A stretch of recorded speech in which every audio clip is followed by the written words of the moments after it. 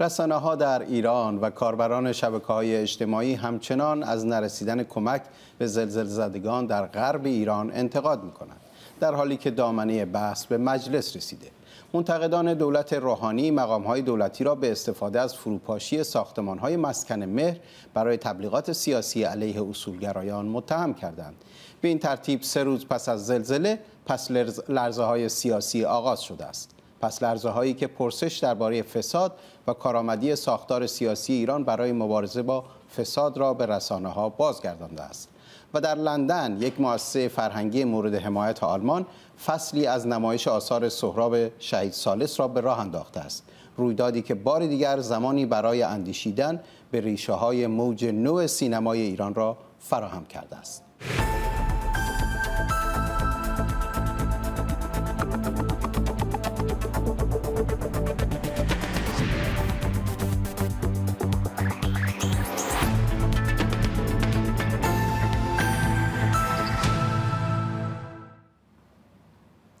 خوش آمدید به چشمانداز آخر هفته. من علی اصغر رمضانپور هستم و خوشحالم که در یک ساعت آینده در این برنامه زنده میزبان شما هستم.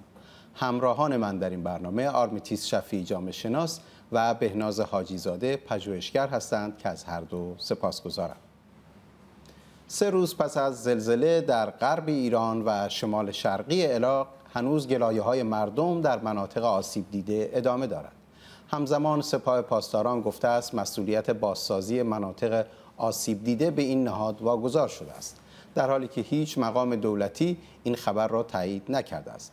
همزمان عبدالرضا رحمانی فضلی وزیر کشور در جلسه علنی در مجلس گزارشی از روند امداد به نمایندگان مجلس داده است. پیش از گفتگو در این زمینه گزارشی ببینیم از همکارانم در خبر ایران اینترنشنال. سه روز پس از زمین لرزه ای که خواب هزاران نفر را در اینجا پریشان کرد. زلزله سریع تمام شد ولی ویرانی کم سابقه ای به جا گذاشت که به نظر می رسد تمام نشدنی است. عملیات آوار برداری و امداد رسانی همچنان ادامه دارد. مسئولان می‌گویند برای بیشتر آواره شدگان در کرمانشاه اسکان استراری فراهم شده. جمعیت هلال احمر هم اعلام کرده انبارهایش پر است و از مردم خواسته کمک نقدی ارسال کنند. اما بسیاری از مردم به ویژه در مناطق روستایی از روند کند امداد رسانی شکایت دارند. حداقل تو این کشور داریم زندگی می‌کنیم اینقدر حق داره که بیا به ما برسه این پیرمرد من چیکارش کنم؟ یه خیمه نیست شب توش بخوابه. بخوابه. این بچه شیرخور هیچی نیست بخوره چیکارش کنم؟ وزیر کشور هر گونه راهزنی در مناطق زلزله زده را رد کرده و گفته هیچ مشکل امنیتی و انتظامی وجود ندارد. ما الان خودمون زنگ می‌زنیم از کردستان و از این ور و از اون ور. یه چهار تا خیر چهار تا چیز میفرسته وسط را می‌گیرن ازش می‌گیره. اگر بذارن ما خودمان مدیریتش کنیم یعنی می‌تونیم ادارش کنیم ولی نمی‌ذارن. وزیر بهداشت هم از انجام وظیفهش می‌گوید. وظایفی که به عهده ما بوده انجام شده و در حال انجام هست. ما برای خودم حرف نمی‌زنم. مسلمانان در تمام چهار طرف ایران آمدن ولی مسئولین هیچ. زمین لرزه با قدرت هفت و سه دهم صدها نفر را به کام مرگ فرستاد و هزاران نفر را زخمی کرد. آواره شدگان هنوز شبها را بدون سرپناه صبح می کنند. خیلی از آنها ساکن ساختمان های مسکن مهر بودند. ساختمان های نوسازی که این چنین فرو ریختند. هر کاری در زمینه ساختمان هست. حسن روحانی که دیروز از منطقه بازدید کرد و همچنین دادستان کرمانشاه وعده داده اند کسانی که استانداردهای ساختمانسازی را رعایت نکردند مجازات خواهند شد. مقصران مجازات بشوند یا نشوند این مردم به سرپناه نیاز دارند. به خصوص در روزهای آینده که بارش باران و وزش باد در استانهای غربی پیش بینی می شود امید آرامش ایران اینترنشنال. برای آگاهی از تازه ترین تحولات در این زمینه همکارم فروغ رحیمی اینجا با ما سپاسگزارم. فروغ که با ما هستی. من دیدم که تو قبل از برنامه تماس داشتی با کسانی که در مناطقی بودن که از زلزله آسیب دیده بودن. چه خبر تازه‌ای داری؟ بله من امروز تونستم با چند نفر در شهرهای کرمانشاه سرپل زهاب و, و سنندج صحبت بکنم که در شهر یا روستاها؟ در شهر سنندج شهر کرمانشاه. و شهرستان سرپل ها که در واقع از گله شهرک کوچیک از گله و شهرستان سرپل ها دو نقطه مرکزی بودن که زلزله اون مرکز زلزله تقریبا همونجا بوده دیگه. و می‌گفتن که به مثلا شهرستان ازگله هیچ کمکی نرسیده و هیچ مسئولی نتونسته چون اصلا تمام راههاش خراب شده و کسی نتونسته هنوز هیچ کمکی به اونا برسونه. ده ها شاید صدها روستا در نزدیکی های سرپل ها قصر شیرین حتی تا نزدیکی های سنندج رفته این تخریب شدن روستاها به خصوص. و چون راههاشون همه منهدم شدن کسی نمی‌تونه در واقع کمکی برسونه به اونجاها و شاید ده ها نفر هنوز زیر آوار موندن.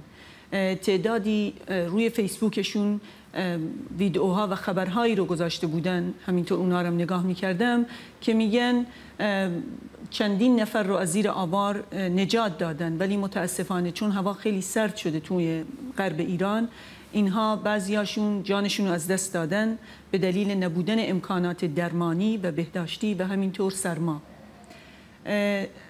همچنین بعضیا میگن که مثلا آب آشامیدنی اصلا نیست.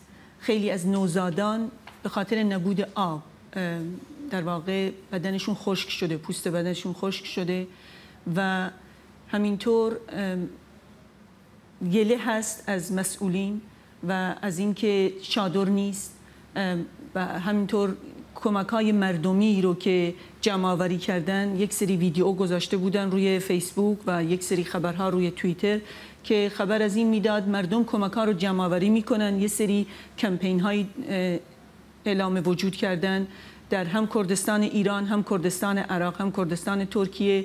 مثلا از جمله کمپین هایی به اسم همدلی که کردی میشه هاودلی یا وطن چاویل معنی وطن چشم انتظاری از ما داره. این کمپین ها بسیاری وسایل گرم کننده پتو چادر جمع آوری کردن ولی نمی‌تونن برسونن به اون مناطقی که بیشترین صدمه رو دیده متاسفانه. ظاهرا از در واقع مقامات ایرانی در کنسولگری ایران در کردستان هم مثل که خیلی همکاری نکردن برای اینکه بله یکی از این کمپین ها و در واقع تعدادی داوطلب در کردستان عراق که این آزوغه ها رو جمع آوری کردن با کنسولگری ایران در اربیل تماس گرفتن دیروز و خواستن که یک نامه ای به اونها بده جواز خودشون میگن که بتونن این امکانات رو منتقل بکنن. ولی متاسفانه کنسول ایران در اربیل موافقت نکرده با این موضوع. در نتیجه اینها گله هایی که مردم دارن. ممنونم فروغ. من دو تا سال دیگه ازت دارم ولی بذار ببینیم دوستانمون اینجا اگر این چیزی که دیده میشه اینه که نه پوشش و نه گستردگی مطلقا کافی نبوده. پوشش و گستردگی کمک, کمک رسانی رساندن کمک ها به کسانی که نیاز دارن. علیرغم اینی که بسیار زود مردم شروع کردن به جمع کمک و دولت اعلام کرده که کمک ها رو می‌تونه برسونه ولی من هم خبرهایی که می‌گیرم خبرهای امیدوار کننده ای نیست ظاهرا خب خیلی طبیعیه که وقتی زلزله میشه راه ها از بین میره. بالاخره هواپیما هلیکوپتر برای همین مواقع برای این کمک های اضطراری. چرا از اون استفاده نمیشه؟ هنوز معلوم نیست. چرا نباید با وجود این همه چیزهایی که فرستاده شد یعنی حتی اگه دولت هم هیچی نمی‌خواست بفرسته چرا هیچ چیز به دست اونها نرسیده؟ باز قابل قبول نیست. من یه مقداری نگران این هستم که نکنه تبعیضی وجود داشته باشه در جاهای مختلف برای فرستادن کمک. یعنی در واقع یک اولویت دادن به کسانی به دلایلی که قطعا انسانی نیست. و امیدوارم آقای ظریف گفتن که نیازی نیست به کمک. وقتی دولت های خارجی خواسته بودن کمک بدن و گفته بودن خودمون می‌تونیم این کار رو بکنیم. خب بله. یعنی واقعا کمترین انتظاریه که از هیئت دولت میره از مجموعه ای که باید کمک بکنه. الان وقتشه. این نکته بسیار جالبی اتفاقا اگر من یک جمله اضافه بکنم که شما مطرح کردید بله از جمله خبرهایی که در تلفن به من گفتن این بود که در منطقه سرپل زها روستایی هست به اسم سرا باوجانی تمام فاضلاب ها و راه آب ها اونجا منهدم شدن و بوهای بوی وحشتناکی میگه تمام منطقه رو گرفته که این اصلا به لحاظ بهداشت و سلامتی می‌تونه جان خیلی ها به خصوص کودکان و سالمندها رو به خطر بندازه و همینطور یارسانی ها همون اهل حق که بله در منطقه سرپلزه ها و قصر شیرین جمعیت چشم یعنی چشمگیری دارن اینها در مزیقه هستن شدیدن و کسی بهشون کمکی نرسونده. با توجه به چیزی که شما گفتیم و اون اخباری که من دنبال می کردم توی رسانه ها ظاهرا راه های ارتباطی قطع شده به روستاها. کمک هایی که ارسال میشه انباشت میشه توی کردستان و چند تا شهر بزرگ چون عملا کرمانشاه کرمانشاه اسخای می‌کنم کرمانشاه و احتمالا سنندج. و مردم عادی دسترسی ندارن به مناطقی که بخوان این کمک ها رو برسونن.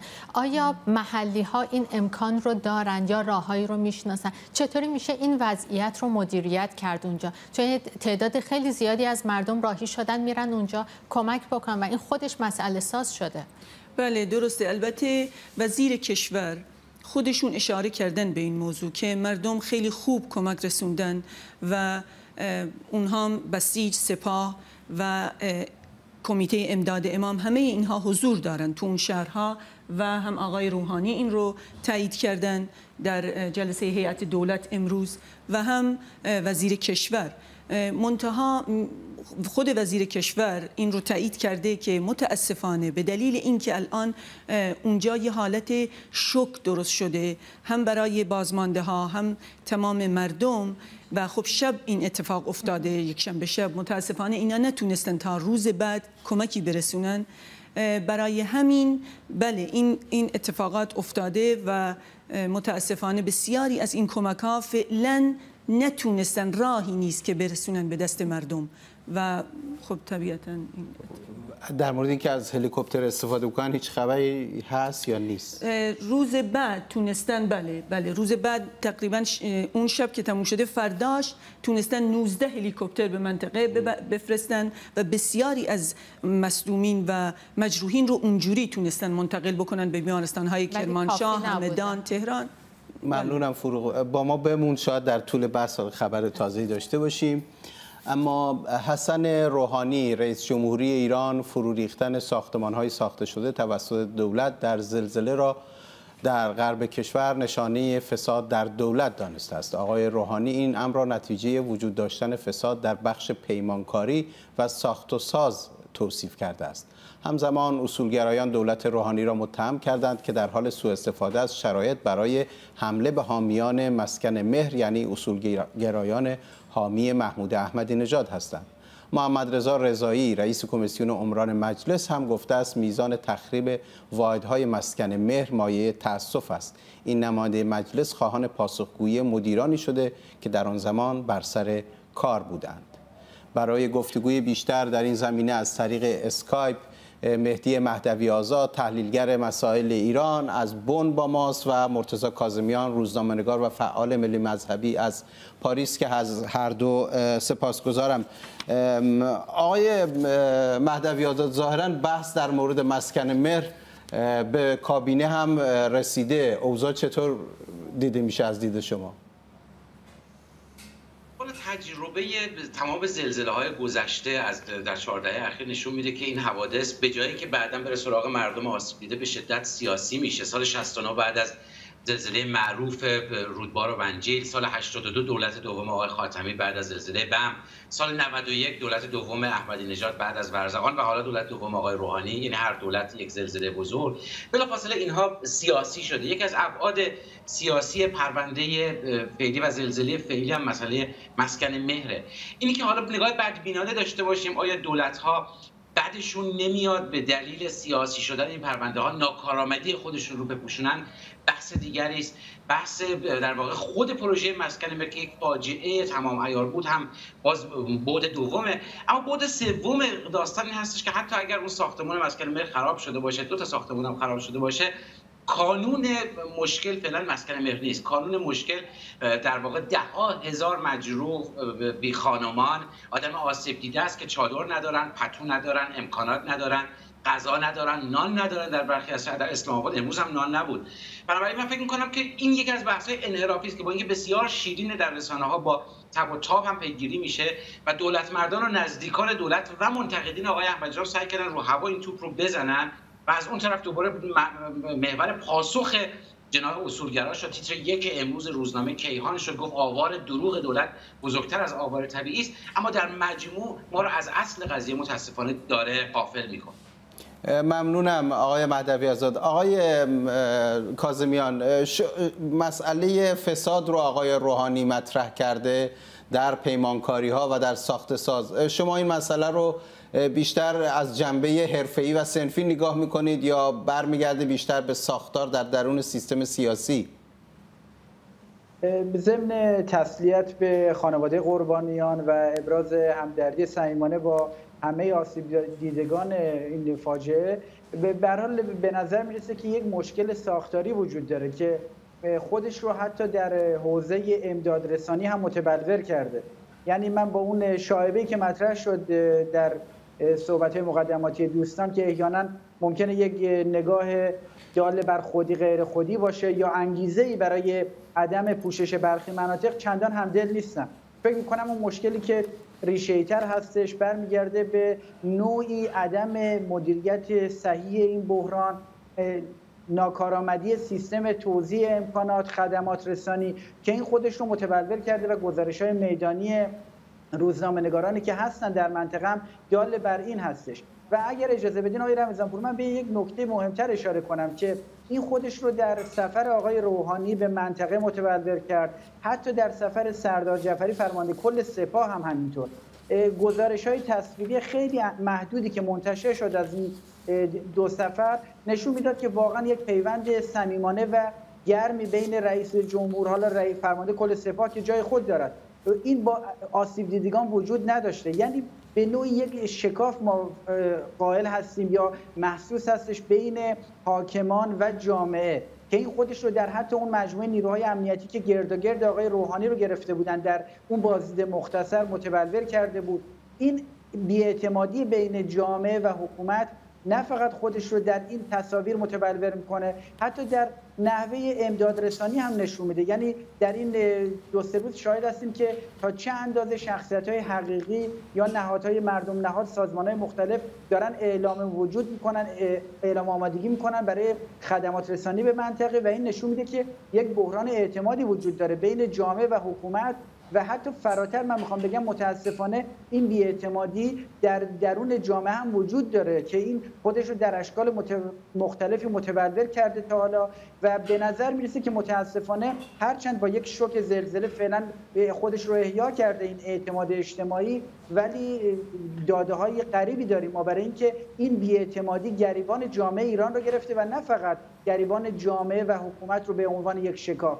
و این بیاعتمادی همون چیزی است که بعد گره می‌خوره با عنصر بی امیدی به آینده و مجموع این دوتا باعث میشه که ما یک جامعه ناشادمان داشته باشیم که مثلا در رنکینگ جهانی ایران در رده مثلا 106 قرار بگیره و 108 و خب این نشون میده که یک وضعیت قابل تعملی وجود داره در کشور که به نیازمند آسیب شناسی جدی هستش. نه فقط توسط حاکمان که یک دره بین اونها و جامعه وجود داره بلکه توسط خود کنشگران جامعه مدنی. ممنونم آقای کاظمیان آقای مهدوی آزاد به هر حال این بیاعتمادی که آقای کاظمیان بهش اشاره می‌کنه شاید نمی‌تونه بگیم که بی ارتباط به مسئله فساد در ساختار دولت نیست. برای اینکه این مسئله مسکن مر درسته که مسئله اصلی نیست. الان آسیب دیده ها مسئله اصلی هن.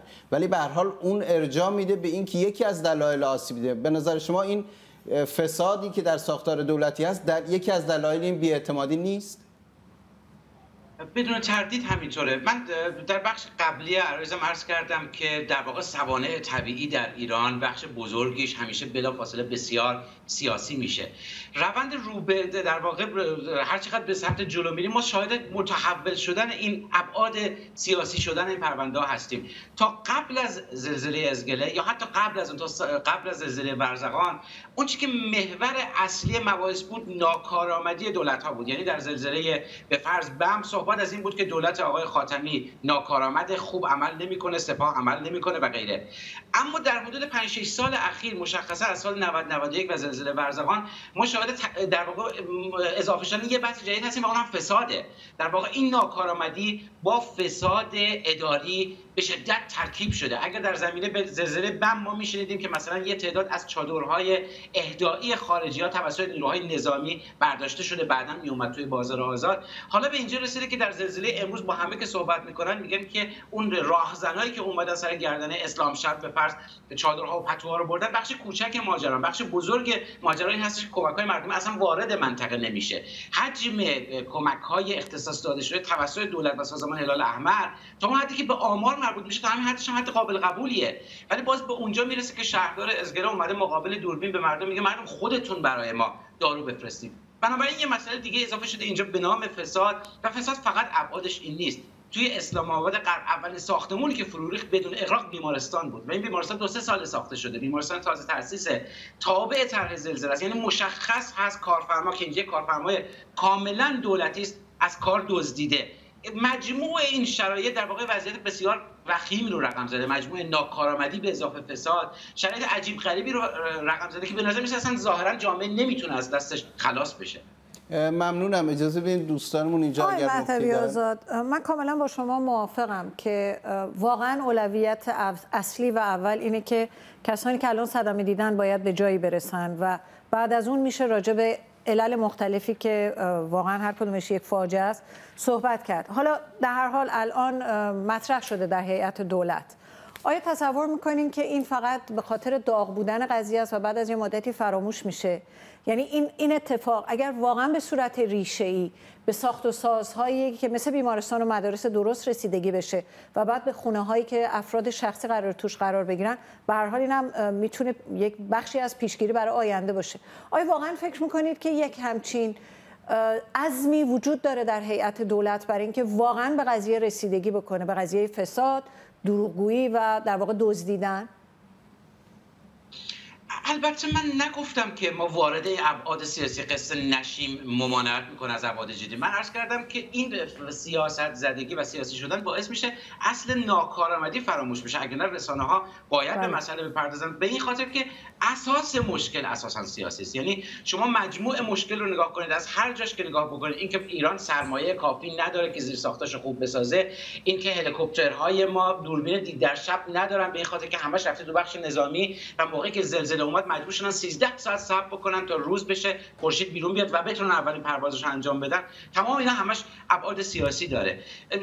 در واقع حل این مشکل سوالی که شما می‌کنید باز دوباره برمیگرده به مشکلات ساختاری سیاسی در ایران. ناکارآمدی اداری یه بخشش فساد یه بخشش کمبود امکانات یه بخشش تضاد قطب‌های قدرت هم یه بخششه حقیقتش بخواد تجربه زلزله تلخ بم تجربه زلزله تلخ ورزقان نشون داده که این وعده ها نه تنها اجرایی نمیشه بلکه اساسا اینجور حوادث بزرگ باعث هیچ تغییری هم نمیشه. حدود چهار ده هست یعنی از همون سال 69 اگه حساب کنیم حدود سه ده هست. بعد از هر زلزله یه اتفاق کاملا یکسان میفته سپاه. با هدف تامین امنیت من نمیگم با هدف بدی میره. با قصد تامین امنیت میره منطقه رو میبنده. حدود 48 ساعت طول می‌کشه تا امدادگران بتونن هماهنگی کنن وارد ماجرا بشن. دیروز شهردار ازگره و معاون امداد و نجات سازمان هلال احمر به این مسئله اعتراض کرد گفت تازه امروز هماهنگی شده با نیروهای نظامی. حتی این مسئله کوچولو هم بعد از 3 دهه 4 دهه حل نشده. بنابراین من فکر می‌کنم بدون اینکه بخوایم ناامید باشیم امید چندانی وجود نداره به اینکه روال ها اساسا تغییر بکنه ساختارها تغییر بکنه. این تصمیمات منجر به تصمیمات بزرگ بشه که هیچ حتی امیدی وجود نداره این وعده هایی هم که داده شده عمل بشه به اعتبار آنچه که در زلزله بم و زلزله ورزقان رخ داد. ببخشید فرمایشی شما کاملا صحیحه. اینکه ما انتظار داشته باشیم این فساد در فساد سیستماتیک و فساد ساختاری به زودی برطرف بشه یه مقداری خوشبینانه هستش. اما خب پای بسیاری از این اسناد تحویل ساختمون ها رو مهندس های ناظر امضا کردن بازرس ها امضا کردن. بازرس های به حال تایید کیفیت ما داریم. اخلاق حرفه‌ای کجا رفته؟ آیا اونها دیدن این کاستی ها رو و سکوت کردن در تمام تمام این سالها و در شهرهای مختلف ما مسکن مهر داریم که قاعدتا این حس عدم امنیت الان تسری پیدا کرده به همه ساکنان مسکن مهر و اونهایی که تو نوبت هستن برای دریافت این مسکن ها با این چه میشه کرد؟ البته آقای ببخشید البته من فکر نمی کنم آقای مهدوی آزاد خیلی اظهار امیدواری نکردن که این مسئله حل بشه. بنابراین من اجازه می‌خوام اول برگردم یک سالی رو مطرح بکنم با آقای کاظمیان. آقای کاظمیان این این در واقع بیاعتمادی به مهندسین ناظر که الان اینجا بهناز داره بهش اشاره می‌کنه آیا این بر نمیگرده به اون مسئله اعتماد در درون جامعه که شما بهش اشاره کردین؟ بله این نکته مهمی هستش و نه در, در واقع این همون جایی است که من اشاره کردم فقط بحث دیگه شکاف بین جامعه و حکومت نیست. یعنی به حال مجموعی از نیروهای مهندسی پیمانکاری که در کل کشور اینها چند هزار شرکت مهندسی میشن هزاران مهندس ناظر مهندس مجری تر. اینها عملا درگیر پروژه های ناکارآمدی شدن که در نهایت شده همین در واقع مسکن مهر. یعنی فقط بحث دولت احمدی نژاد در میون نیستش. بحث بخشی از جامعه است که گریبان این در واقع مسکن مهر در واقع گریبان اونها رو هم گرفته مشکل مسکن مهر. یا مثلا من اشاره کنم به اینکه مطابق آمار گزارش شده که روزانه حدود 1600 نزاع در پزشکی قانونی ثبت میشه و فقط در پزشکی قانونی ثبت میشه. یعنی حدودا ساعتی 66 ایرانی با هم درگیرن. یا در سال 95 اعلام شد حدود 17 میلیون چک برگشتی ما داشتیم یا 15 میلیون پرونده قضایی داریم. این داده ها یا اینکه مثلا نشون میده شاخص اعتماد مردم به اساتید دانشگاه در سال 79 گفته میشه بیش از 70 درصد بوده و آقای کاظمیان. 45 درصد رسیده. آقای کاظمیان منظور شما اینه که مسئله رو باید در ریشه های اجتماعی و فرهنگی جدیتری جستجو کرد. نه فقط مشکل می‌خوام بگم نه فقط مشکل بین جامعه و حکومت بلکه یک مشکل اجتماعی هم داریم که برمیگرده به تقلیل عنصر اعتماد در میان جامعه مدنی. ممنونم از مرتضی کاظمیان که از پاریس بود و ممنونم از شما آقای مهدوی آزاد و عضو. می‌خوام که بحث نشد که پاسخ آخر شما رو بشنویم در یک فرصت دیگه. و اما مروری بر آثار سهراب شهید سالس با روایتی آلمانی. با ما همراه باشید.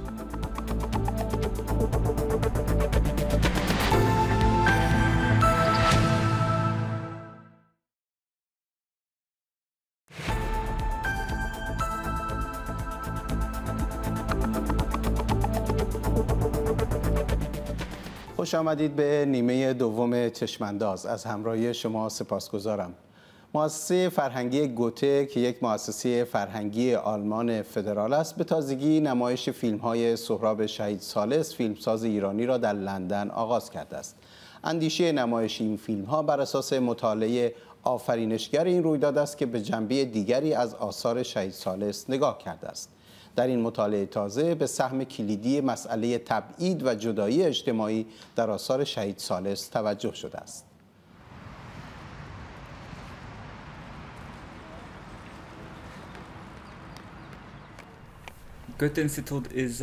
مؤسسه گوته یک سازمان فرهنگی که در سراسر جهان شعبه داره.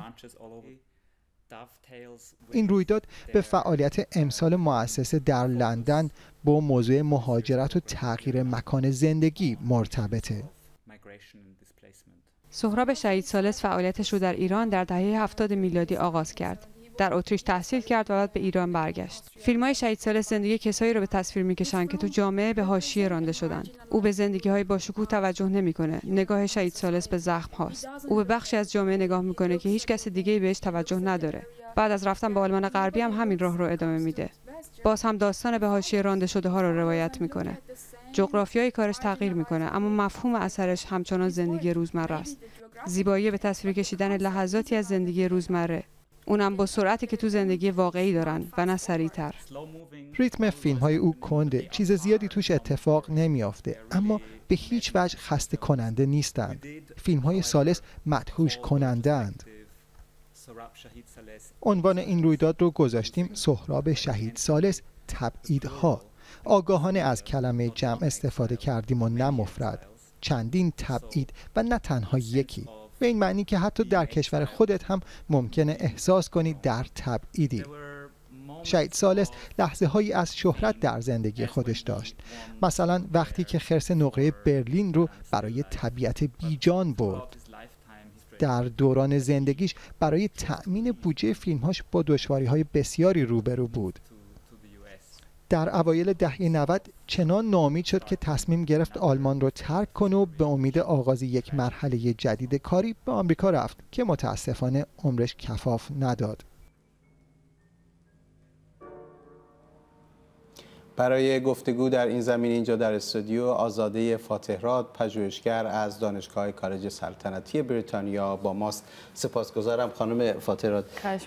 شما هم راجع به شهید ثالث مطالعه کردید هم در طراحی این در واقع برنامه مشارکت داشتید. میشه اصلا برامون توضیح بدید که هدف این برنامه چیه؟ حتما.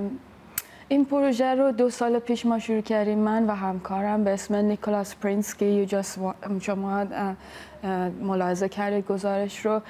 ما curator این پروژه هستیم در همکاری با Goethe-Institut در لندن. این برنامه منحصر به فرد ترکیبی از سری یک سری فیلم نشون دادن film screenings همینطور یک کنفرانس ما داریم و همینطور سال آینده این موقع یک کتابی به انگلیسی به عنوان اولین کتاب راجع به سهراب شهید ثالث چاپ خواهد شد. دلیل اینکه این پروژه رو انجام دادیم این بود که دو سال پیش سفارت سوئد به من یک بودجه دادن که پروژه رو ایجاد کنم در لندن به اسم Politics of Domestic. و سیاست در واقع میشه خشونت خانگی ترجمه میشه؟ چی دقیقا. و این پروژه اولین باری بود که من با کار آقای سهراب شهید سالس آشنا شدم. سعی کردم اون, اون کارشون رو داخل پروژه این دو سال پیش به اجرا بیارم. ولی حدودا دو سال طول کشید تا ما بتونیم این پروژه که امروز توی لندن برگزار میشه رو براتون اجرا کنیم. ما سرمایه بسیار بزرگی رو از دولت فرهنگ مؤسسه فرهنگ انگلستان دریافت کردیم. Arts Council of England همینطور Iran Heritage Foundation همینطور Kingston University این کتابچه که ما برای این پروژه ایجاد کردیم.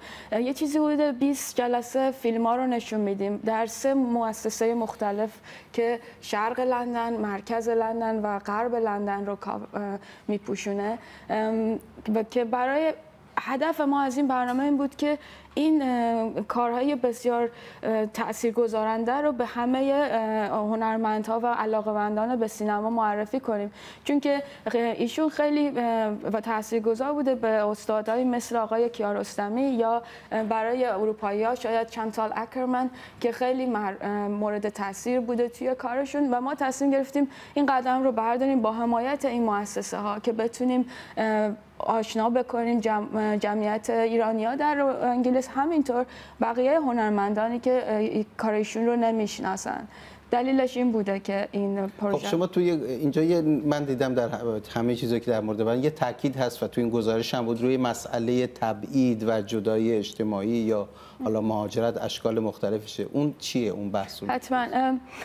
دلیل اصلی این پروژه اینه که نگاه می‌کنه به خاصیت کسی که یک هنرمند یک خلاق و مهاجرت می‌کنه از شهری که توش زندگی می‌کنه. مثل آقای شهید سالس که ایشون از تهران 1974 مسافرت می‌کنه به به آلمان و در غرب برلین سکونت می‌کنه و اونجا رو به عنوان خونه جدید انتخاب می‌کنه که می‌تونه جای مناسبی برای کاری که اون موقع داشته انجام می‌داده بشه. برای اینکه اگر بدونید ایشون کارشون بسیار پایه‌گذار موج نو سینمای ایران یکی از پایه‌گذاران بوده و اون موقعی که ایشون تو ایران فیلم می ساخته این فضا نبوده که این استایلی که ایشون فیلم می ساخته اونطور که لازمه گسترش پیدا کنه.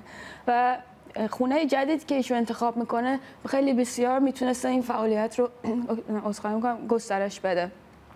اما یک چیزی که خیلی مهمه این تضادی بوده که ایشون همیشه داشته. بین اینکه یک آدم بسیار موفقیه که خرس نقره رو برنده میشه در برلین در مقایسه با یک کسی که در واقع هیچ فضای دقیقی از جهت رزیدنسیش نداره توی برلین. اقامتش, اقامتش نداره و این تضاد بسیار آسیب دهنده بوده که من اون ما اون رو توی این پروژه اون اسمش رو گذاشتیم کریتیو اگزال یعنی مهاجرت اون آدم خلاقان که در به طور به طور همزمان تجربه می‌کنن این دو حالتی که یکیش بشکوه یکیش در عین سختی و داغونیه. و اینا در آثارش هم میشه دید یا نه؟ بله خیلی خیلی. یه کاری که خیلی موثره توی کار آقای سهراب سالس اینه که کارش تصویر آینه زندگیشه. چه موقعی که توی ایران بودن ایشون به تصویر بسیار قسمتی از آدمایی که جامعه بهشون توجه نمی‌کنه. مثلا اون دو فیلمی که تو ایران ساخته شده طبیعت بیجان یا یک اتفاق ساده هر دو در یک منطقه دور بله و یک خانواده ضعیف فقیر در در حالتی که 1970 زمانیه که زمان شکوه اقتصادی ایران از جهت نفته و خیلی از توسعه ها اون موقع انجام شده. ولی ایشون توجهی به اون شکوه نداره. میره به یه قسمت متروک به یه قسمت و یه موضوعی که هیچ کسی بهش توجه نمی‌کنه. انزوای اجتماعی رو انزوای اجتماعی و سختی ها چیزی که قرار نیست راجبش صحبت بشه. خیلی ایشون متأثر بوده از آقای چخوف. و یکی از دلایلی که ما یک نقدی رو داشتیم شنبه گذشته و منتقد ما آقای احسان خوشبخت که منتقد فیلم ایرانی هستن. ایشون اشاره کردن که دلیلی که این انتخاب شمال ایران بوده این بوده که شاید اون نزدیکترین حالت به فیلم چخوف یا زندگی چخوف یا نم، نمایش تصویری چخوف کار راجب چخوف ساخت بله, بله. دلیلش این بوده. همینطور وقتی ایشون مسافرت می‌کنه به برلین اونجا هم به همین قسمت قسمت منوریتی اقلیت. اقلیت اسخای می‌کنه اقلیت جامعه نگاه می‌کنه. من شروع می‌کنه با کارگران ترکی کسایی که موقتا ساکن اون کشور هستن و چه سختیهایی رو روش باید صبوری کنن و باهاش طی کنن. و همیشه تمرکزش همونطور که به سختی به در واقع زخم زندگی اجتماعی می‌پردازه تا به اون شکوهش. و, و این اصول کارش بوده همیشه که اون سختی و زخم باید نشون داده بشه توی یه کار هنری. یکی از مهمترین شاخصه هایی که سهراب شهید سالس داره که خیلی خوب شما مطرح کردین این تضادیه که وجود داره. آیدین آقداشتو در تعریف ایشون میگه مردمدار میگه که مردم گریزی که مردم رو دوست داشت. و این آدمی که از مردم فیلم می‌سازه ولی خودش تنهاست. در غربت فیلم می‌سازه از کسانی که غریبن و یک فردی که در جمعه ولی در جمع تنهاست و جمعی که خودش هم تنهاست. این هم در فیلم یوتوپیاش خیلی خوب دیده میشه هم در غربت که یک ترکه که یک ایرونی داره اون نقش رو در در واقع آلمان بازی می‌کنه که چقدر مشکل داره در پرویز سیاد بازی می‌کنه. پرویز سیاد بازی می‌کنه و اینکه چقدر این مشکل داره در اینکه خودش رو در اون جامعه که داره جا بندازه در این حالی که خودش برای خودش هم جا نیفتاده. این خیلی تضاد جالبیه که خیلی قوی ممنونم آرمیتیس پیش از اینکه بحث رو ادامه بدیم آزاد اجازه بده یک گزارشی رو ببینیم که همکارانم در چشمانداز درباره آثار سینمایی سهراب شهید ثالث تهیه کردن. یک باره پیر شدم توی آینه نگاه کردم. آینه هم پیر شده بود.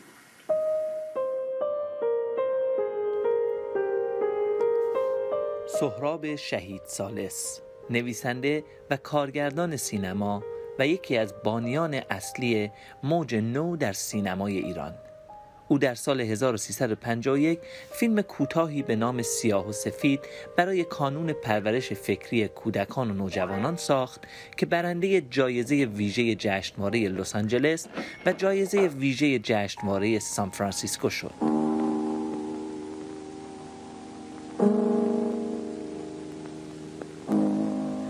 سهراب شهید سالس در سال 1352 اولین فیلم بلند خودش را با عنوان یک اتفاق ساده ساخت. فیلمی که برخلاف نامش اصلا اتفاق ساده ای در سینمای ایران نبود. اون کت ببینم. کدام کت. اون کت. همون همون. این فیلم با اینکه مورد توجه عامه مردم ایران قرار نگرفت ولی سینمای ایران را به دنیا معرفی کرد فیلم دوم سهراب شهید سالس با عنوان طبیعت بیجان برنده خرس نقره‌ای بهترین کارگردانی از جشنواره برلین شد.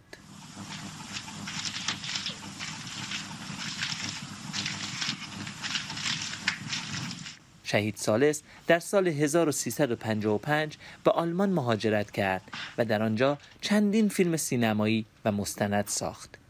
یکی از مهمترین فیلم های او در آن دوران فیلم در قربت است. فیلمی که پرویز سیاد تهیه کننده و بازیگر آن بود. این فیلم برنده جایزه منتقدان بین المللی جشنواره برلین شد.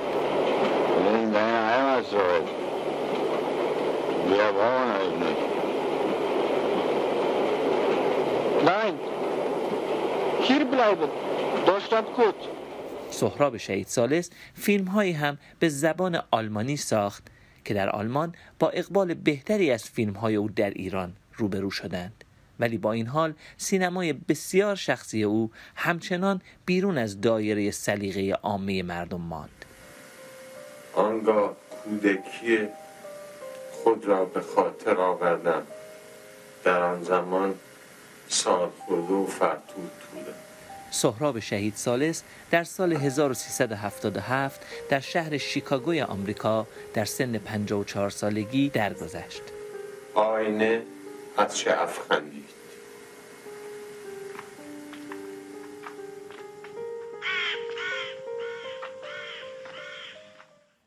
آزاده الان در این گزارش هم نکته ای که می‌بینیم در واقع بیشتر البته بخش اول که بیشتر راجع به آثار درون ایران هست اون نکته که اشاره کردی رو می‌شد دید. ولی چی شد به نظر تو که سهراب در ایران نموند و از ایران اومد بیرون؟ این سوال خیلی خوبیه. برای اینکه خیلی وقتا هنرمند مهاجرت می‌کنه برای دریافت یک مدرک تحصیلی که ایشون این کار رو انجام میده. میره وین اول درس می‌خونه برمیگرده ایران پروژه می‌سازه برای ایران که این فیلم هایی که الان بهش اشاره شد رو ساخته. اما متوجه میشه که نمی‌تونه این چیوه کارش رو اونجا ادامه بده. به خاطر اینکه اون چیوه که این داره اون موقع داشته کار میگره بسیار ساده, بر... ساده سازی بوده. تصویری از زندگی که بسیار با, با المنت های کمی اشاره میشه بهش. خیلی ظریف که اون موقع قابل خیلی جذاب نبوده برای بیننده های اون موقع. بدین ترتیب یکی این یک دلیله. یک دلیل دیگهش این که همیشه سخت بوده براش که دریافت کنه پول برای اینکه کارش رو انجام بده. اون فیلمی که الان ابتدا بهش اشاره شد مثلا با کانون پرورش فکری کودکان حمایت شده. اما در عین حال اون خیلی باید از پول خودش میذاشته تا بتونه این پروژه رو انجام این فیلم رو به وجود بیاره. این چند دلیل شرایط کار براش سخت, سخت و دشوار بود. بله شرایط کار هم از جهت هنری هم از جهت مالی. مادی. بله هر دو این فشار رو ایجاد می‌کنه و همینطور ایشون خب انگلیس زبان آلمانی رو خیلی خوب بلد بوده به خاطر تحصیلی که تو اتریش داشته قبل از اینکه برگرده به ایران. آزاده عذر می‌خوام صحبت رو قطع می‌کنم ظاهرا ارتباط ما با آقای ناصر زراعتی نویسنده و مستندساز در سوئد برقرار شده. آقای زراعتی. اگر صدای من رو دارید ممنونم که با ما هستید. اینجا من داشتم از خانم فاتحراد آزاده در مورد این میپرسیدم که چی شد که آقای شهید سالس در واقع ایران رو ترک کرد. حالا هم این نکته هست هم این که به طور کلی شما نگاهتون به اون کارهای اولیه ایشون در دوره‌ای که در ایران بود چی هست؟ بله. سلام به شما و بینندگانتون نکته ای رو که اشاره کردن درسته ولی مسئله دیگه هم بود. یعنی غیر از که دشواری هایی در راه فیلمسازی سهراب شهید سالس بود وقتی برگشت در وزارت فرهنگ و هنر مستندساز مشغول کار شد تعدادی ساخت ولی اون فیلم اولش اتفاق در واقع با میشه گفت با یک نوع کلک ساخت. اینکه مقداری فیلم گرفت فیلم آه بسازه و بعد اون فیلم رو تحویل داد. همیشه خب با مشکلات و فشارها بود با توجه به عقاید سیاسیش و مخالفت کرده با نظام اون زمان داشت. خب این همیشه دشواری ها براش بود یک مسئله دیگه هم بود که من خودم داشته بود. سال 95 که تازه اومد بود آمریکا. من چه یادش گرامی باشه. شفاف و اونجا تلفن زد به شهید سادس و صحبت کردن. به من گفت گفت به من بعد از این همه سال داره تقصیر تو بود که من اومدم بیرون از ایر شماها به من گفت که تو یک ساز جهانی هست هی بمونی. آقای زراعتی.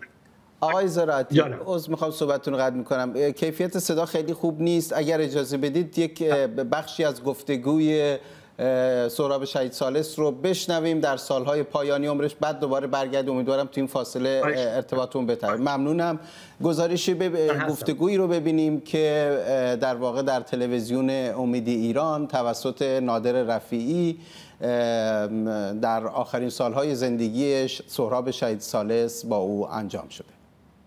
چه فرقی می‌بینید بین سینمای قبل از انقلاب و سینمای بعد از انقلاب؟ ببینید سینما رو در هیچ انقلابی نمیشه متوقف کرد نظر من. و در ایران استعدادهای بسیار خوب هستند که رشد کردند. و دارن رشد می‌کنند من یادمی که اون شبی که رفتم بنابراین این جایزه رو به من بدن اون مدریتوره یا مدراتور بهش میگن. و من گفتش که شما این همه جایزه گرفتیم باید یه اتاق تو خونتون داشتیم برای جایزاتون. گفتم ندارم. گفت چرا؟ گفتم همه جایزه رو هدیه کردم گفت چی؟ حالا 350 تا آدم حسابی هم تو اون سال نشسته بودن. آدم حسابی یعنی تهیه کننده هنر پیشه کارگردان اینا. گفتم هدیه کردم. گفت چرا؟ گفتم سنگینه. تو روزنامه نوشتن روزنامه هاشو گوشتم تو چمدونم با خودم می‌برم. واقعا میگم یه دونه از جایزه هم ندارم. جدا؟ ندارم. همه رو چه, چه کردی؟ میادم یکی فیلم برداری می‌گفت چه قشنگ گفتم مال تو. سه تا جایزه طلا گرفتم سر یه فیلمی به اسم آخرین تابستان گرابه. همه رو دادم به تهیه کننده منتها یک وزرای فرهنگ اون منطقه در آلمان. و من یه چک 5000 مارکی دادن. من مثل همیشه بی پول بودم. گفتم این چکه ولی مال منه. اونا خندیدن. بله. آزاده خب در همین گفتگو هم می‌بینیم اون روحیه انزوا و بیاعتناییش رو در واقع بودن در جامعه. برگردیم به کارهایی که در اواخر عمرش بیرون از ایران ساخت. اونا رو چطور می‌بینید؟ همینطور دقیقا همینطور که توی گزارش نشون داده شد همیشه ایشون از یک مشکل بسیار زیاد مالی در سختی بودن رنج می بردن و حتی توی آلمان هم بسیار سخت بوده براشون که بودجه بگیرن برای ساختن فیلم هاشون همینطور در این حال مضاعف بر اون نمی‌تونستن یک شرایط مشخصی برای زندگیشون در اونجا داشته باشن. به عنوان یک کارگر یک به عنوان یک مهمان کارگر همیشه بهشون نگاه شده از جهت از جهت سکونتشون در آلمان. فیلم هایی که ساخته شده بسیار موفقه. فیلم های طولانی به فضای بسیار مخصوص زندگی یک آدم تنها در آلمان. فیلم های موفقی که یک سازنده یک کارگردان در زندگی موفق نداشته. بله. و همین همین مشخصش اونو خیلی جالب ممنونم. ظاهرا ارتباط ما با آقای زراعتی دوباره برقرار شده. آقای زراعتی زمان کمی داریم. در مورد سالهای آخر به ما بگید. سهراب شهید سالس دیگه فکر می‌کنم تا اونجایی که من اطلاع دارم امکان فیلم ساختن یعنی پیدا کردن تهیه کننده در آلمان نداشت. سفری میره آمریکا دیدن برادرش و بعد اونجا تلاش می‌کنه. یه فیلمنامه هم گویا داشته به اسم یک شنبه ها تعطیل. میده چون سجزارس رو در امریکا میشناختن. فیلماش در موزه نیویورک بوده دو تا از فیلماش و بعد اونجا تلاش می‌کنه که خودش میگه که من می‌دونم که تو هالیوود نمی‌تونم کار بکنم دنبال تهیه کننده های مستقل میره و متاسفانه امکان براش پیدا نمیشه. بعدم خب اون بیماری ها بود. از اون طرف هم اون روحیه حساسش جاهای مختلف میره پنسیلوانیا پیش برادرشه بعد میره شیکاگو بعد میره به لس آنجلس. خب تو اون فضای لس آنجلس که ایرانیا هستن و اینها یه مدتی واقعا عمر و وقت تلف می‌کنه. و بعد روحیش طوری شده بود که در واقع به نظر من شروع می‌کنه به یک خودکشی تدریجی. یعنی با اینکه اون بیماری ها و ناراحتی های داشته مشروب های خوردن فراوونی که در واقع اونو بعد از پا میندازه. و متاسفانه در یکی از مصاحبه هاش میگه که ایرانی ها جلو آدم خیلی خوبن ولی پشت سر یه جور دیگه هستن. و من فکر می‌کنم که یه مقدار بی مهری و بی توجهی هموطنان بود که باعث شد سهراب سالس نه بتونه در اون حدود دو سال فیلمی بسازه و بعد اینکه با یأس و تلخی ولی همچنان با آمیخته با اون تنزی که داشت همیشه در زندگی سریعتر متاسفانه رفت به طرف مرگ و نابودی. ببخشید آقای زراعتی سهراب شهید سالس سال 52 ایران رو ترک کرد. آیا در ایران فراموش شد؟ با توجه به اینکه آثار ایشون آیا فراموش شد سهراب شهید سالس نه. سهراب شهید سالس همیشه برای ببینید برای اگر بگیم تماشاچی های معمولی و مردم خب خیلی ها نمیشناختنش فیلماش هم نمی‌دیدن. ولی برای فیلمسازها برای جامعه روشنفکری ایران سهراب شهید سالس همیشه زنده بود و به نظر من هست و خواهد بود. خود یکی از مهمترین فیلمسازهای ما عباس کیارستمی جدیدن علاقمند و تحت تاثیر شهید ممنونم. نه فراموش نشد ممنونم از ناصر زراعتی که از سوئد با ما بود و همینطور آزاده فاتحراد اینجا در استودیو با ما. وقت برنامه ما در اینجا به پایان می‌رسه. از همراهی شما سپاسگزارم و تا چشماندازی دیگر برای شما شبها و روزهای خوش آرزو می‌کنم.